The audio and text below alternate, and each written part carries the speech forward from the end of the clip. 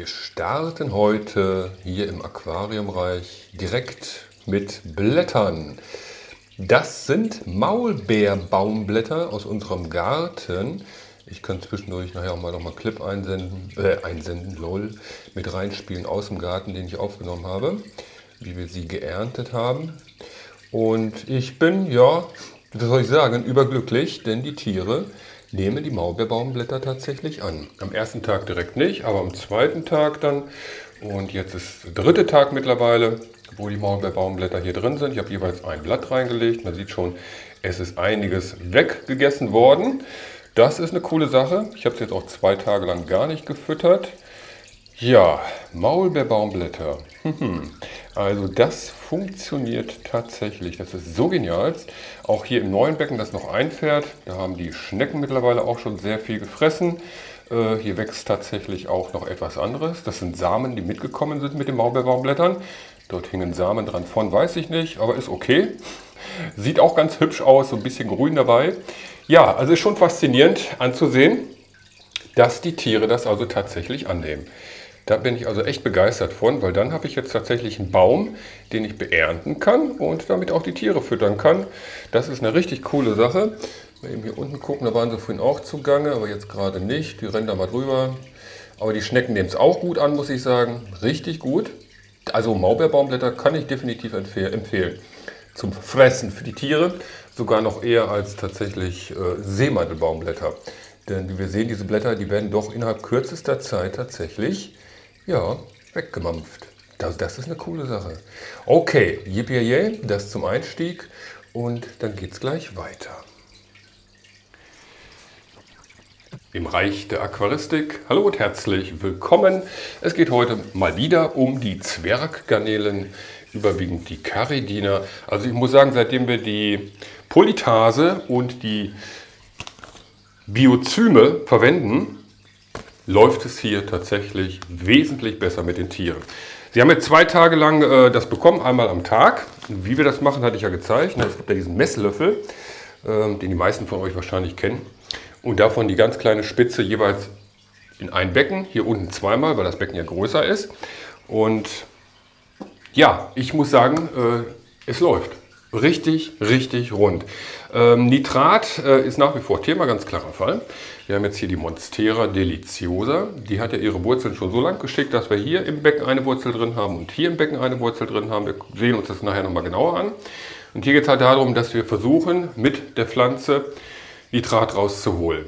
Ob das möglich ist oder nicht, wissen wir noch nicht. Ich werde jetzt gleich vorab nochmal checken, wie das jetzt aussieht nitratmäßig damit wir da erstmal Klarheit haben, denn ich möchte sie gleich auch füttern tatsächlich heute, normal in dem Sinne, ähm, also nicht mit der Polytase und mit dem Biozym, damit sie auch zwischendurch anderes Futter bekommen, denn abwechslungsreich ist immer am besten, ganz klarer Fall, ne? nicht übertreiben, aber dennoch doch ganz wichtig. Ganz wichtig hier bei dem Becken, Lavagranulat, pH-Wert. Wir haben ähm, Soy reingepackt, das erinnert in diesen Nylonstrumpf, ne, Darmstrumpf, äh, das lag hinten in der Ecke, lag wohlgemerkt, denn vor zwei Tagen oder vor drei Tagen, ich weiß nicht mehr genau, äh, musste ich es rausnehmen. Da ist nämlich der pH-Wert hier plötzlich gestiegen auf 6,8, glaube ich, war das ungefähr. Ähm, und ich habe neuen Zoll reingemacht, äh, zweimal 250 Milliliter, damit ich nicht so einen dicken Klumpen da liegen habe, sondern zwei kleinere dann, konnte ich unten schön reinlegen. Ich zeige gleich alles näher noch, wie das aussieht. Und äh, da ist tatsächlich der pH-Wert jetzt wieder normal in dem Sinne. Wir haben jetzt, ich kann mal eben gucken, Justus, wir haben jetzt pH-Wert von 6,1. Also, das läuft tatsächlich wieder rund. Das Zoll war ungefähr zweieinhalb Monate, drei Monate drin. Und dann war es plötzlich nicht mehr aktiv. Das ist ein ganz wichtiger Punkt, den man berücksichtigen sollte, wenn man mit dem Soil den pH-Wert runterbringt. Immer abhängig von der Menge, die man drin hat, ganz klarer Fall. Aber ich muss sagen, ja, das ist schon mal gut, dass wir das mitnehmen können, denn das ist ganz wichtig bei den Caridinern. Bei Neocaridinern spielt das keine große Rolle, da brauchen wir auch kein Zoll reinpacken. Die vertragen eh einen höheren pH-Wert, da ist das nicht so wichtig, aber bei den Caridinern sollte man da schon ein bisschen aufpassen. So, jetzt habe ich genug erzählt, würde ich sagen, erstmal. Und jetzt gucken wir uns ein paar Sachen an. Ja, die Sonne scheint. Die Sonne scheint heute, wunderbar. So, ach man, das ist, macht, macht so viel Freude jetzt hier mit den Becken, das ist so genial. Also ich kann es nur jedem ans Herz legen, das mal auszuprobieren mit dem Biozym und der Polytase. Das ist also wirklich eine richtig coole Sache.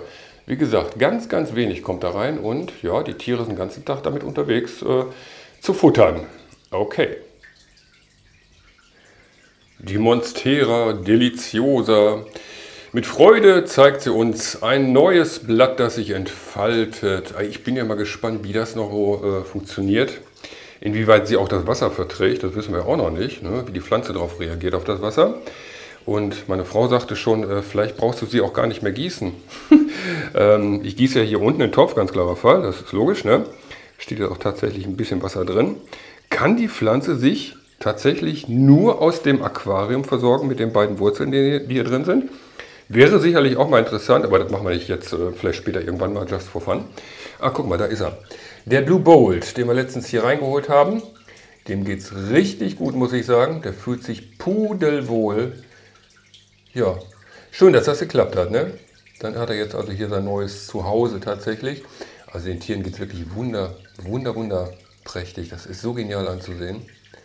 Die sind immer fleißig hier in Ruhe unterwegs. So, dann, äh, jetzt haben wir die Wurzel schon gesehen. Ja, die ist heftig gewachsen mittlerweile. Und die, jo, holla die Waldfee. Also da geht mal richtig die Post ab. Die ist auch schon fast unten am Boden angekommen, noch nicht ganz. Ich glaube, ich mache gleich mal die Jalousie zu, dann spiegelt das nicht hier so dolle. Äh, Algen sind hier nach wie vor in dem Bereich, interessanterweise nur. Ich hatte sie letztes Mal abgemacht, das werde ich dann heute auch wieder machen. Oh, die schiebt eine Wurzel nach der anderen hier. Das ist so genial anzusehen. Ja, ich bin mal gespannt gleich, wie es aussieht mit dem Nitratwert. Also die Tiere sind überall hier unterwegs, ne? überall. Das ist so genial anzusehen, dass sie die echt fressen, ey. Hätte ich nicht gedacht. Also das ist mal schön, dass wir das also wirklich mitnehmen können. Maulbeerbaumblätter. Tolle Sache. Die anderen habe ich übrigens hier unten liegen. Die habe ich auf dem Handtuch trocknen lassen. Ne, dann kann ich die dann jetzt für den Winter tatsächlich gebrauchen. Das ist eine tolle Sache. Und ich werde auf jeden Fall noch mal welche ernten gehen, weil ne, besseres Futter möchte ich, möchte ich jetzt nicht sagen, aber wir können sie damit füttern. Ne? Das ist eine coole Sache. Ja, okay, dann mache ich jetzt erstmal den Test hier, um zu gucken, wie das hier drin aussieht. Ich werde auch noch andere Blätter sammeln gehen draußen. Ähm, morgen, denke ich mal. Morgen ist noch trocken, ja, auf jeden Fall, denn es kommen schon einige Blätter runter.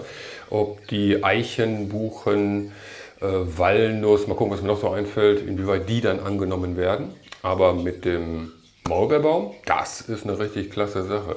So, bevor ich jetzt anfange, hier was zu punchen, äh, erstmal Hände waschen, denn heute ist auch Wasserwechsel angesagt. Allerwichtigste, immer wieder mal gesagt, ganz wichtig, Hände waschen ordentlich. Auch die Oberarme dementsprechend dann oder Unterarme. Wasserwechsel ist angesagt heute mit dem B-Shrimp Mineral GH. Als allererstes messen wir hier uh, den Mikrosiemens-Wert. ja, jetzt bin ich auf die Blätter getrampelt. Der Mikrosiemens-Wert liegt hier bei 244. Das ist okay. Ich habe letztes Mal etwas mehr Osmosewasser dazugegeben, um den Wert ein bisschen runterzubringen. Das hat ganz gut geklappt, muss ich sagen. Wobei ich aber auch nicht weiß, was die Pflanze uns da jetzt rauszieht. Das muss ich auch demnächst kontinuierlich beobachten. Ne? So, wie gesagt, GH+, kein KH. Eins, zwei, ich nehme mal gestrichen. Drei und vier erstmal.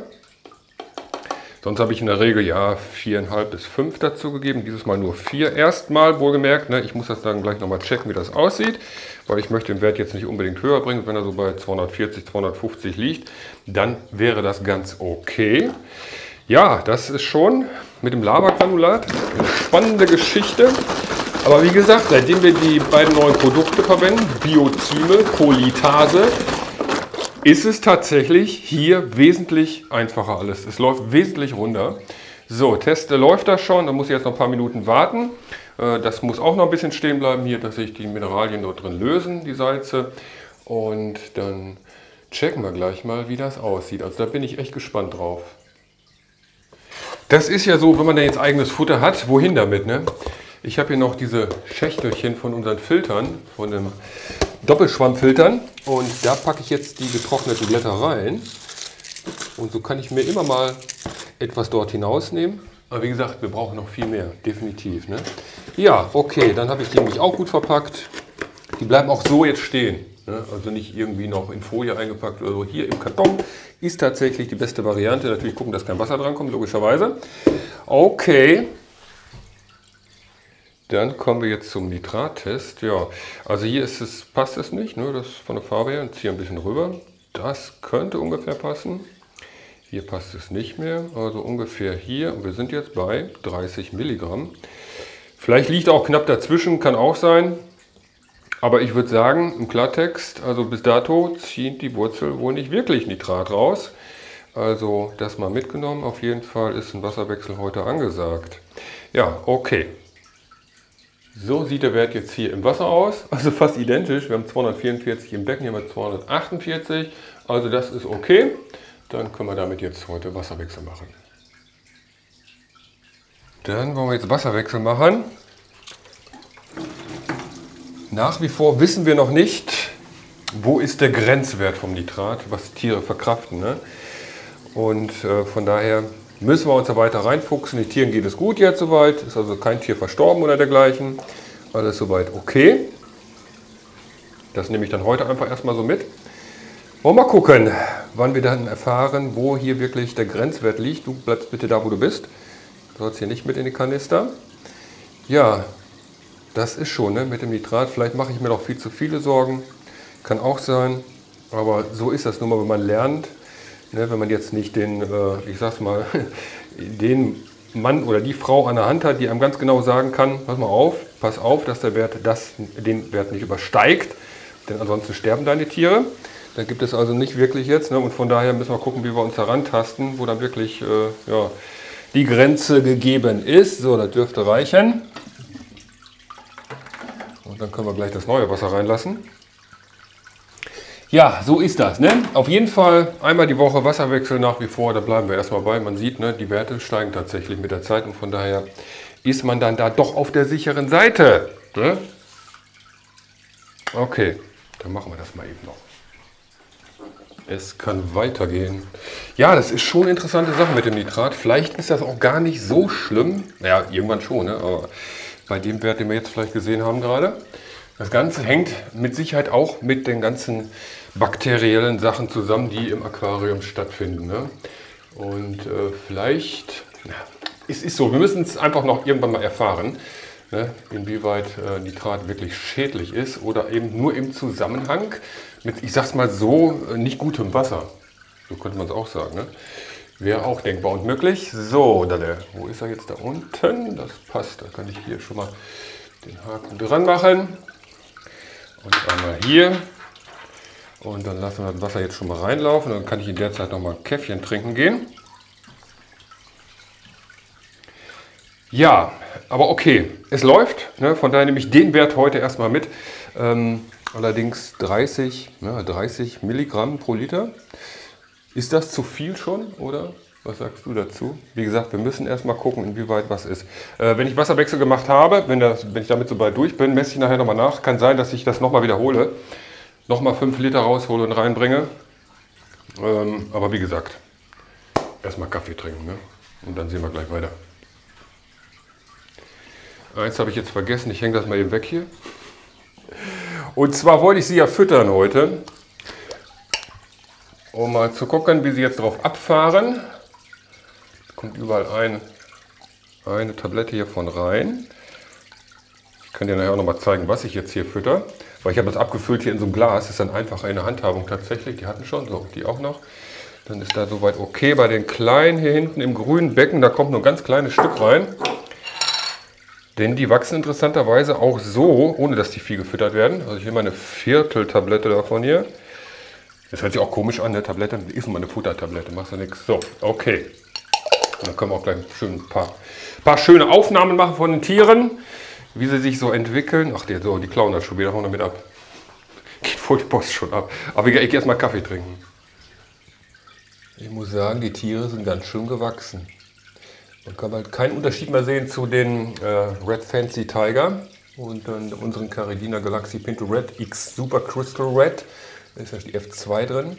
Aber die sind schon ganz gut gewachsen, muss ich sagen. Richtig kräftig. Wie wir sehen, die haben also wirklich Hunger heute. Ne? Wie gesagt, zweite haben sie jetzt nur Biozym und Polytase bekommen. Und heute wieder was zu futtern. Und wir sehen, ja, das ist wohl doch angebracht heute zu füttern. Aber okay, wie gesagt, sie haben da auch vom Seemandelblattbaum ordentlich gefressen und haben ja auch Biofilm hier ordentlich drin. Von daher läuft das tatsächlich richtig rund, muss ich sagen. Auch hier in dem Becken bei den Super Crystal Red und den Caridina Aura Blue. Ja, die haben auch gut Hunger. Aber ah, das ist schön anzusehen. Ne? Ach, das ist so, macht so viel Freude. sind auch Babys drin tatsächlich wieder. Ich weiß nicht, ob wir die vielleicht mal irgendwo zu Gesicht bekommen. Äh, ich schaue nachher nochmal in Ruhe, würde ich sagen. So, dann zeige ich dir mal eben das Futter, das wir verwenden. Das ist das hier. Und ich muss sagen, das Päckchen ist zwar klein, ne, aber du brauchst nicht viel davon. Und das haben wir jetzt also schon längere Zeit, eigentlich von Anfang an, ja nicht ganz, aber schon recht lange. Und ich muss sagen, ja, das hält lange. Also da braucht man nicht wirklich viel von. Ich kann mal eben, wo ist denn stehen hier? Da, ne, also da ist noch ausreichend drin. Also das reicht mit Sicherheit noch bis, was haben wir jetzt, Oktober, November, Dezember, bestimmt bis Januar, Februar. Also man braucht gar nicht viel davon. Ne? Wie gesagt, abwechslungsreich füttern, und dementsprechend läuft das dann schon mal runter in dem Sinne. Ja, also das ist doch richtig herrlich anzusehen. Okay, jetzt gehe ich aber doch mal langsam Kaffee trinken. Aber ich wollte das eben noch mal eben in dem Sinne abgetan haben. Ich gucke noch mal, ob ich die Babys sehe gerade. Nee. Ich gucke gleich noch mal in Ruhe. Ich bin gerade mal wieder aufgeregt. Ja, das ist aber auch, wenn du die Tiere siehst, ne? Guck dir mal die schönen Farben an. Ach, guck mal, das ist einer von den neuen. Mit den orangenen Augen. Was da genau draus wird, weiß ich noch nicht. Auf jeden Fall na, sieht er schon mal richtig klasse aus. Da sind äh, drei oder vier davon drin hier tatsächlich. Zumindest habe ich sie letztens so gezählt. Ist er gerade hier vorne irgendwo unterwegs? Da. Ja, okay. Man könnte echt schon lang vor sitzen bleiben einfach. Es geht weiter. Hier mal kurz unser Waldmeisterbecken gezeigt. Wir sehen, den Tieren geht es da drin richtig gut. Das finde ich schon mal echt spannend, muss ich sagen. Obwohl man ja gar nicht davon ausgehen sollte. Ne? Aber ist okay. Belassen wir so. Da werde ich nichts dran ändern, aber auch hier Wasserwechsel, ganz klarer Fall. So, jetzt kommt nochmal hier Christa, Kruster, nicht Christa, Kruster Mineral rein. Ich muss gucken, wie ich die Einstellung gerade mache hier. Ich glaube, so sollte das einigermaßen funktionieren. Dazu nehme ich jetzt mit der Spritze einfach ein bisschen Wasser raus aus dem Aquarium, mache das hier rein und dann kommt ein bisschen von dem Pulverchen hier rein, nicht viel. Und das mache ich in der Regel jetzt auch nur noch beim Wasserwechsel zwischendurch. Hier, ich würde sagen, bei der großen Menge am Wasser nehmen wir ruhig so einen gestrichenen Löffel voll. Mache den auch sofort wieder zu, damit das keine Feuchtigkeit zieht. Das ist ganz wichtig. So, dann rühren wir das ein bisschen um hier. Dann verteilt sich das gleich besser im Aquarium, als wenn man das einfach so reinschmeißt. Ne? Dann lasst ihr die Klumpen dann rumliegen. Und so kann man das ein bisschen auflösen und dann wieder aufsaugen mit der Spritze. Und dann kommt das hier rein und dann ist okay.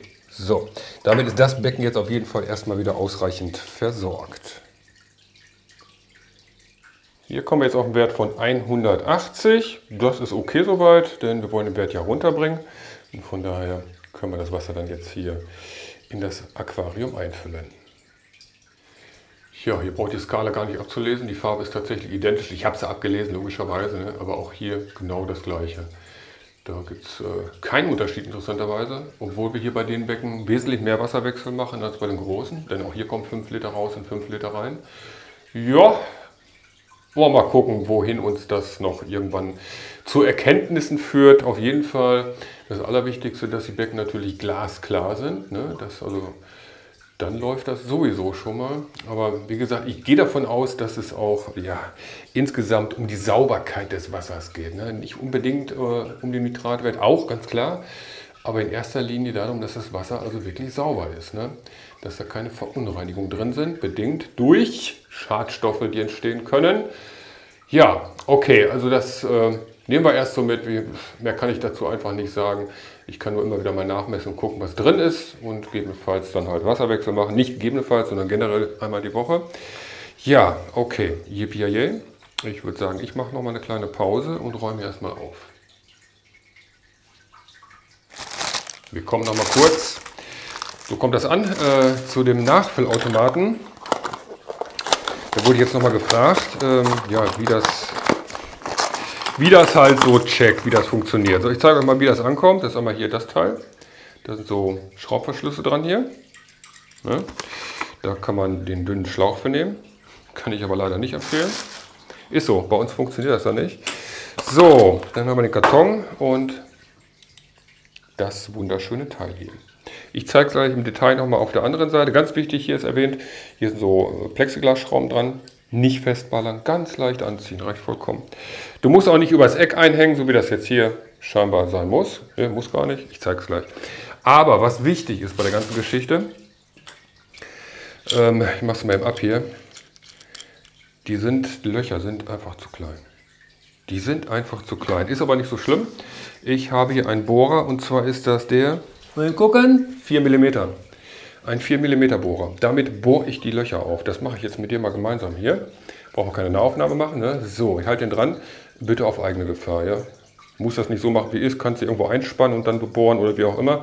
Aber für mich ist das so einfach. So, fangen wir einfach mal an zu bohren. Die Finger je nach Möglichkeit nicht dahinter halten und wenn es irgend geht, gerade bohren.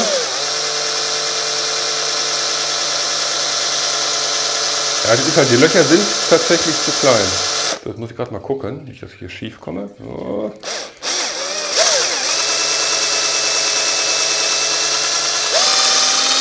Wunderbar. So, und jetzt geht dieser Pinöppel hier. Ne, der geht dann mit ab hier. Zack. So, das machen wir auf der anderen Seite auch. Muss ich jetzt aber nicht nochmal zeigen. Dann haben wir das Ganze nämlich... Ähm, wo habe ich denn den Schlauch? Ach, das ist der hier. Pass mal auf. Ähm, I'm so sorry. Ich schneide den jetzt aber nicht ab. Ich zeige es nur demonstrativ. Der dickere Schlauch, den nehme ich jetzt zum Absaugen. Ich muss den anderen nachher dafür holen. Der wird einfach hier drauf gesteckt. So. Und auf passende Länge abgeschnitten. So wie du es haben willst. Und das bei beiden Seiten halt dementsprechend. Und dann funktioniert das Gerät richtig genial. So, das kurz dazu. Und dann zeige ich dir jetzt mal, wie das aussieht, wie ich die da oben, ja nicht installiert, dran gesteckt habe. Kommen wir nochmal zu der ja, Nachfüllautomatik. Also so sieht das Teil aus. Das kannst du einfach hier reinhängen und dann die Schrauben ganz leicht anziehen. Aber wirklich nur ganz leicht. Ne? Das muss nicht bombenfest sein, ganz leicht. Ich mache es jetzt nicht mehr hier, denn ich wollte es nochmal anders zeigen. Ich mache es nochmal ab hier. Und zwar kannst du das auch so machen so reinhängen und festmachen. Kannst du dann positionieren, wo du willst, spielt gar keine Rolle. Kannst du auch mittig machen von mir aus, da wo eben auch Platz gegeben ist. Ganz leicht die Schrauben anziehen und das reicht vollkommen aus. Also mehr braucht man da gar nicht machen. So, und dann, jetzt habe ich bei den Aquarien hier in der Regel halbe Liter Flaschen. Ähm, ich habe auch gerade gesehen, hier kann tatsächlich auch eine Literflasche, ich habe jetzt von unten mal eine, von dem Aquarium. Die würde hier tatsächlich auch drauf passen. Ne? Muss ich mal gucken, dass ich jetzt noch mal ein paar Flaschen besorge. Dann kommen da auch Literflaschen drauf. Hier allerdings nicht, weil das Becken höher ist, da passt das nicht. So, wir nehmen uns jetzt eine saubere Flasche und hier kommt rein was? Wasser, ganz klarer Fall. Aber welches Wasser? Reines Wasser. Bei uns Osmosewasser tatsächlich. Damit wir das Wasser, was verdunstet, nachliefern. Und ohne Mineralstoffe, ohne Salze, denn ansonsten würde die Konzentration im Laufe der Zeit immer höher steigen, höher steigen und höher steigen und das wollen wir nicht. Ne? Und von daher wird nur reines Wasser nachgefüllt, was auch verdunstet tatsächlich. Jetzt ist es aber so, da bin ich mal gespannt drauf, und zwar ähm, bei dem Aquarium hier zieht die Pflanze ja mit der Wurzel was raus. Ne? Und das gar nicht wenig. Also ich muss hier wirklich jeden Tag äh, den halben Liter nachsetzen, tatsächlich. Also das ist schon. Doch beachtlich. Aber okay, das ist noch ein Lernfaktor. Mal gucken, wie das dann tatsächlich später gegeben ist. So, dann ist der jetzt da drauf und dann kann das Ganze nachlaufen, bis das äh, am Rand angekommen ist von dem Schlauch hier. Und dann hört das auf zu laufen und wenn der Wasserstand wieder sinkt, dann läuft tatsächlich wieder etwas nach. Ja, ist schon eine coole Sache, dass man sich dann so behelfen kann, um die Parameter stabil zu behalten. Ne? Das ist schon ganz wichtig. Okay. Damit haben wir heute diese beiden Becken fertig. Die anderen mache ich dann morgen in Ruhe alleine. Und immer ganz wichtig, Datum aufschreiben, wann wir das gemacht haben. So, jetzt kommt hier noch kurz äh, Kruster Mineral mit rein. Allerdings nur die halbe Menge. Also ein halber Löffel im Prinzip. Weil wir halt hier weniger Wasser haben. So, das kommt jetzt schon mal rein hier. Und damit ist das abgeschlossen. Gedüngt wird nicht momentan, schon längere Zeit nicht. Ich beobachte die Pflanzen Sollte das sein, dass wir düngen müssen, dann werde ich euch das auch mal wieder zeigen. Aber ansonsten halte ich mich da jetzt tatsächlich auch zurück, weil die Pflanzen wachsen auch gemächlich hier. Von daher ist es überhaupt kein Problem. So, hier haben wir jetzt eine pH-Wert von 6 bei dem Becken. Das ist also geblieben, da hat sich nichts verändert. Denn ich möchte mal gucken, ob ich dieses Aquamonton noch mal mit dazu packe. Äh, oder wann ich das mache dementsprechend. Deswegen messe ich das vorher erstmal nach. Hier brauche ich allerdings nicht messen, weil die Werte jetzt verfälscht sind, dadurch, dass frisches Wasser dazugekommen ist. Das kann ich erst morgen testen dann in dem Sinne. Da gucke ich, wie der pH-Wert sich verändert hat im, zu den anderen Tagen dementsprechend. Und sollte das so sein, dass ich was dazu führen kann von dem Aquamonton, dann kommt da auch wieder etwas dazu. So, das lasse ich mal eben einpendeln. Ich kann ja zwischendurch auch ein paar Bilder tatsächlich laufen lassen hier. Aufnahmen von heute. Jetzt haben wir gleich 6 Uhr schon. Holla die Waldfee, wo ich den Karton da gelassen hatte. So, ja, das ist momentan so das einzigste in dem Sinne, was wir dazugeben. Ne, Kruster Mineral und halt GH+, ganz klarer Fall. Und halt Biozyme und Polytase. Und ich kann es nur nach wie vor sagen, seitdem läuft hier alles wesentlich besser. Die Becken sind glasklar, was nicht unbedingt gewollt ist, aber es ist so. Den Tieren geht es richtig gut. Es ist lange Zeit nicht ein einziges Tier verstorben. Selbst hier bei uns in dem grünlastigen Becken. Ach so, übrigens grünlastiges Becken. Wo habe ich jetzt, auch mit den da oben schon hingestellt? War das der? Nee, der war das. Genau. Der war das hier mit dem Cluster Mineral. Den muss ich gleich nochmal sauber machen. Ich ziehe aus dem grünen, aus unserem ähm, Waldmeisterbecken immer zwischendurch mal was raus. Was heißt zwischendurch? Einmal am Tag im Prinzip. Also hier ungefähr 10 Milliliter. Warum ich das mache, weiß ich nach wie vor nicht. Ich mache es einfach, weil bisher, äh, ja, was soll ich sagen, ist nichts passiert in dem Sinne. Nee, aber es ist schon, ähm, ja, ich gehe davon aus, dass diese Algen auch gefressen werden. Also zumindest, es schadet nicht. Es ist definitiv so, ne? deswegen mache ich das einfach. Am liebsten möchte ich das Becken ja erhalten in grün, in dem Sinne tatsächlich, weil da gibt es noch so viele Sachen, die man vielleicht nochmal, ja, wie soll man sagen, herausfinden kann, wie auch immer. Das brauchst du oben gar nicht hinstellen, muss ich mir gleich sauber machen. Das ist nämlich schon interessant, ich meine, wie lange das Becken schon läuft, so grün, ne? das ist schon der Hammer. Das ist total irre, habe ich noch nirgendwo bei niemandem gesehen oder das hat mir niemand gezeigt oder uns niemand gezeigt bisher, dass Becken grün tatsächlich auch äh, für Tiere gut sind, für die Garnelen. Denen geht es da drin richtig gut. Die haben überhaupt keine Probleme. Sind den ganzen Tag unterwegs und von daher ist das soweit okay. So, was haben wir jetzt hier pH-Wert bei unserem Becken? 5,45. Mal eben gucken, das ist 1, 2, 3, 4, 5. Nummer 5, ja. 5,35 hatten wir letztes Mal. Wir haben jetzt 5,43. Ja, vielleicht geht er noch ein kleines bisschen runter. Ist jetzt aber auch tagesabhängig, weil im Laufe des Tages steigt der Wert auf 5,5 in der Regel dann. Ja, liegt so bei 5,4, 5,5. Also hier hat sich in dem Sinne gar nichts verändert. Das ist so geblieben tatsächlich. Also von daher könnten wir ein ganz kleines bisschen Aquamonton dazugeben. Aber wie gesagt, das mache ich dann einen anderen Tag. Äh, nicht alles auf einmal hier. So, ja, und wie lange das Soil uns noch hier erhalten bleibt, müssen wir mal gucken. Das werden wir auch weiter beobachten.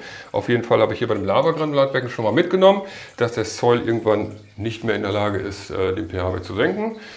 Und dann steigt er halt wieder langsam hoch. Ne? Und dann muss man das Soil wechseln. Aber nach wie vor, der Vorteil ist, wir haben hier Steinbodengrund, wir haben hier Steinaufbau, viel Biooberfläche. Wir brauchen hier nichts zu wechseln drin, außer die äh, Nylonstrumpfsäcke in dem Sinne dann zwischendurch. Und damit hat sich die Kiste. Du brauchst also nicht alles rumwühlen und raus und neuen Soil wieder rein und ganze Biologie im Eimer. Muss nicht sein. Ne? Von daher ist das also eine wirklich ganz, ganz, ganz tolle Sache.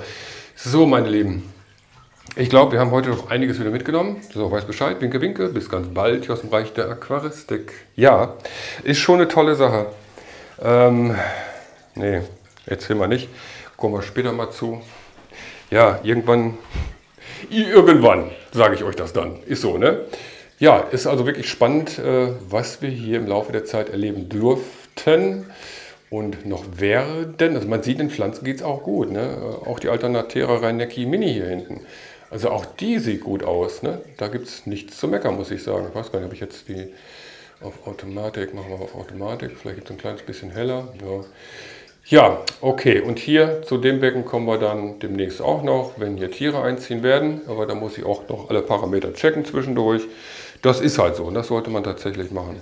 Aber die Schnecken, die drin sind, denen geht es gut. Von daher Die fressen auch tatsächlich das Maulbeerbaumblatt. Also das ist schon eine tolle Sache, dass wir jetzt ein Futter gefunden haben, das wir dann auch ja, urlaubsmäßig verwenden können, rein theoretisch. Wobei ich dann noch gucken muss, äh, wie lange die im Wasser haltbar sind, ohne zu vergammeln in dem Sinne. Das heißt, ich werde mal ein paar Blätter nur ins Wasser, also nicht zu dem Becken, sondern in reines Wasser irgendwo reinschmeißen, ähm, ohne dass die Tiere drankommen, mal zu gucken, äh, wie die Blätter sich so im Wasser verhalten. Ich denke, das wäre auch interessant zu erfahren, auf jeden Fall. So, okay, dann mache ich mich ja schnell noch ans Bearbeiten, dass wir den Film morgen noch fertig kriegen. Oder für morgen in dem Sinne. Okay, yippie, wir sehen uns auf jeden Fall ganz bald wieder. Die Verlosung wollte ich eigentlich heute gemacht haben, aber ist leider noch nicht da, also müssen wir leider ein kleines bisschen warten.